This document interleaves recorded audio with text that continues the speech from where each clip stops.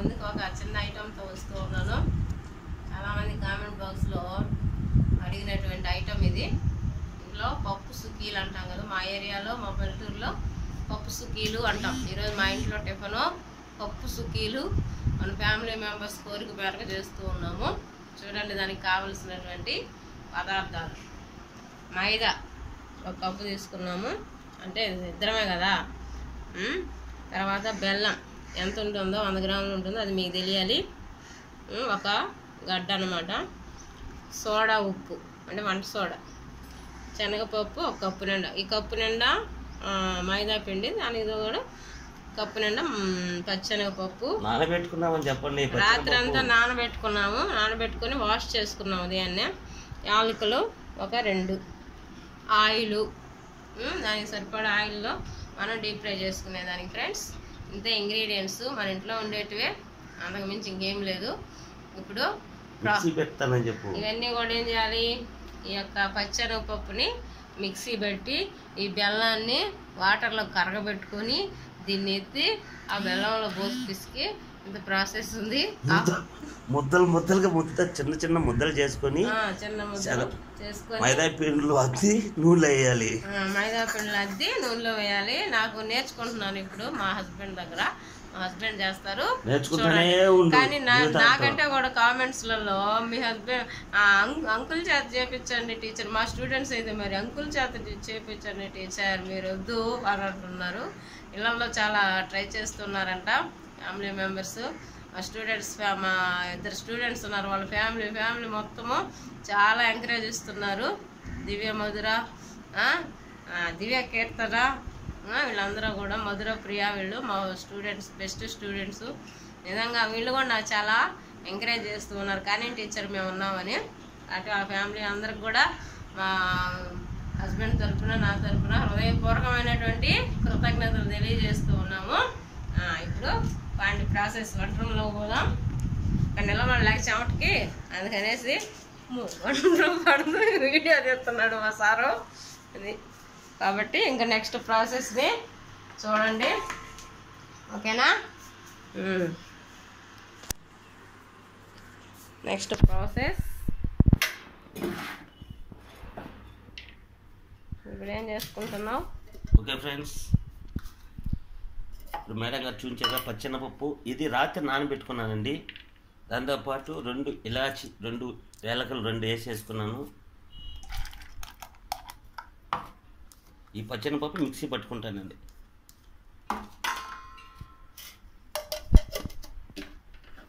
మెత్తగా పట్టాలా రఫ్గా. Mixie పెట్టినారా? Mixie బెల్లం బెల్లం నానబెట్టుకున్నాను కదండి బెల్లం కలుపుకున్నాను.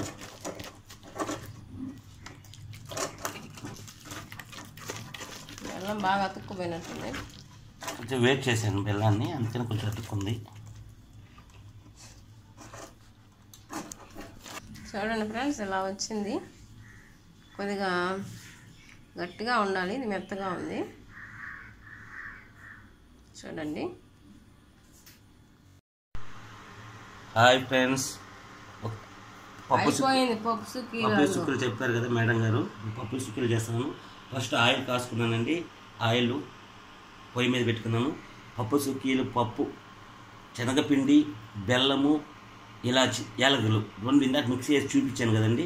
ఇలా మైదా పిండి ఉత్త మైదా పిండి సోడా పిండి అంటే వంట సోడా కలుపుకొని కొంచెం లూజ్గా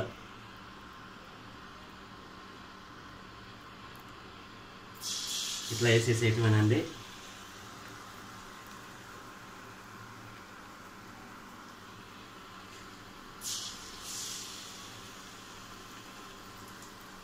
షేప్ లేకపోతే పర్లేదులే ఇంట్లోకిగా ఉమ్. మొత్తం సిక్స్ పెట్టేటట్టున్నది ఆయిల్కి మళ్ళీ వేరేది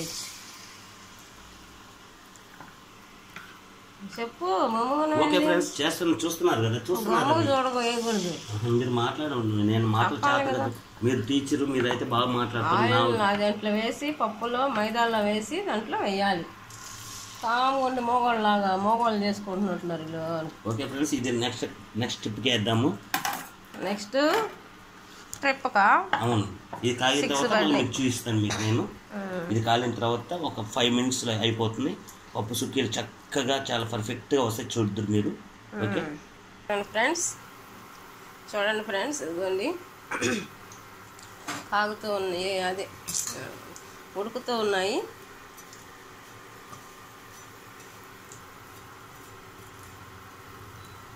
బాగా రెడ్ కలర్లోకి వచ్చే వరకు మనం ఇలాగా తిప్పుకుంటూ వేయించుకోవాలి. చూడండి.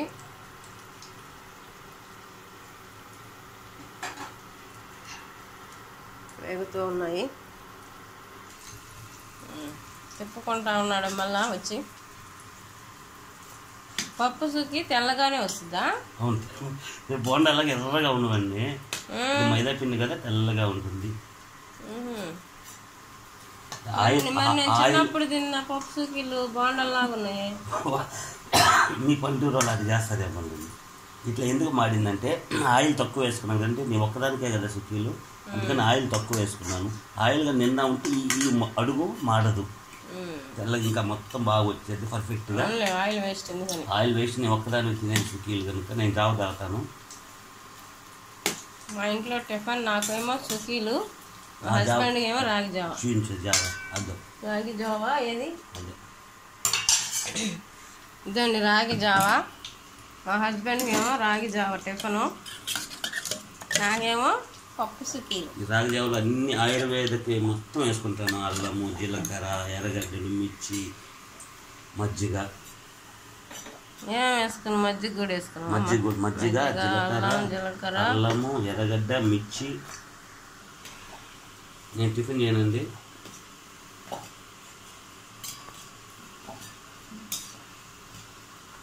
చాలా బాగుంది. మీ జావే బాగుంది. నాకు మేము మా విలేజ్లో చిన్నప్పటి నుంచి కూడా మా ఇంట్లో రాగులు ఇంట్లో ఎటు చూసినా ఉండేటువంటి అయినా కానీ నాకు రాగి రొట్టె రాగి బూరెలు అవి తిన్నతాను కానీ జావ రూపంలో అయితే నేను తాగలేను. నాకు అలవాటు లేదు. అందుకని బజ్జీలు బోండాలు అలాంటివి తింటాను. చూడండి ఫ్రెండ్స్ అయిపోయింది అయిపో వచ్చింది దించినాక మళ్ళీ చూపిస్తాను. ఓకే ఫ్రెండ్స్ ఇగోండి ఆయిల్లో నుంచి బయటికి తీసాము. టిష్యూ పేపర్ అయిపోయింది ఇంట్లో అందుకని న్యూస్ పేపర్ మీద ఇలా పెట్టుకోవాలి. అప్పుడు ఆయిల్ అంత దీంట్లో ఉండే ఆయిల్ పేపర్లోకి దిగుతుంది. మనం ఎక్కువ ఆయిల్ లేకుండా తినొచ్చు. నా టిఫిన్ అనమాట ఈరోజు పప్పు సుకీలు. మా విలేజ్లో పప్పు చేయించండి అంటే. ఓపెన్ చేసి బయట తీస్తుంది. ఓపెన్ చేయండి మజ్జిగ ఓపెన్ చేయండి. కాలిపోతుంది. రెండు పట్టుకొని ఓపెన్ చేయాలండి.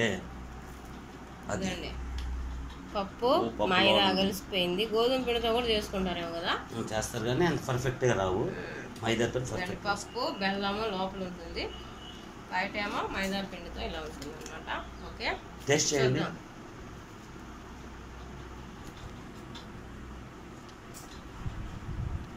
స్వీట్ సరిపోయిందా? బెల్లం సరిపోయిందా? పర్ఫెక్ట్గా వచ్చిందా? బెల్లం జరిపోయింది అందులో జరిపోయింది బాగుంది. కాలిపోతుంది ఓకే ఫ్రెండ్స్ చూడండి.